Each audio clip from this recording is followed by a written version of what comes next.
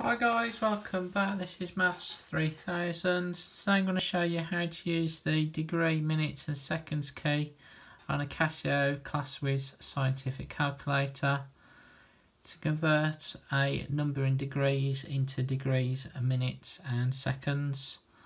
So the degree, minute and second key can be located on the third row of the functions on the scientific calculator so it's this one here so let's have a look at the two examples that we have.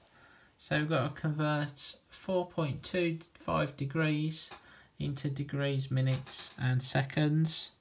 So to do this, let's just type in 4.25, press the equals key, and then if we press this key here, we get it in degrees, minutes and seconds. So we have 4 degrees, 15 minutes and 0 seconds. Okay, so let's have a look at the second example. So this time we've got to convert 9.28 degrees into degrees, minutes and seconds.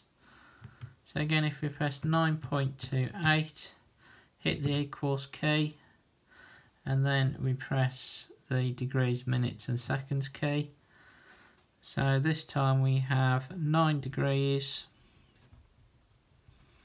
uh, 16 minutes,